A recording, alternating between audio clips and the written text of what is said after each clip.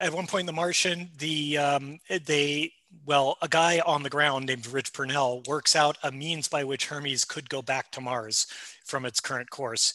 And it involves using Earth as a slingshot and then going out and they'll pass by Mars with a hyperbolic trajectory. They're not going to be able to go into orbit and then they'll come back to Earth. And um, so I actually plotted out that course. Um, the way I I did it was I, I, well, first I went online and said, so Hermes is a spacecraft that is uh, propelled by ion propulsion, uh, which is real technology.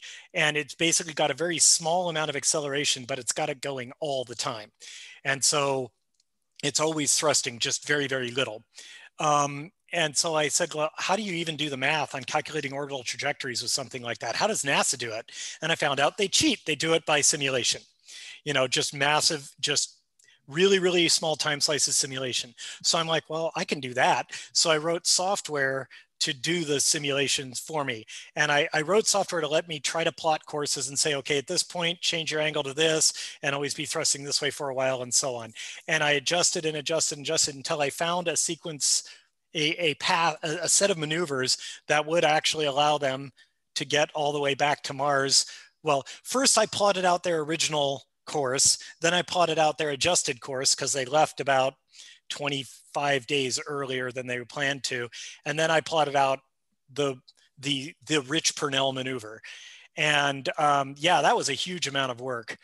And um, then th that's also ultimately what led me to fix the date that it took place because I had to know where Earth and Mars are at that at those times and i'm like okay then this launch earth and mars have to be this many degrees apart from you know to, from the sun to be um, for this to work at the initial launch window and then so when are those launch windows and it's like so every two two years and a month or two the synodic period of earth and mars um, i'm like okay it can be any of these but for a plot point, I needed them to be on Mars. Their original plan was to be on Mars on Thanksgiving Day of that year.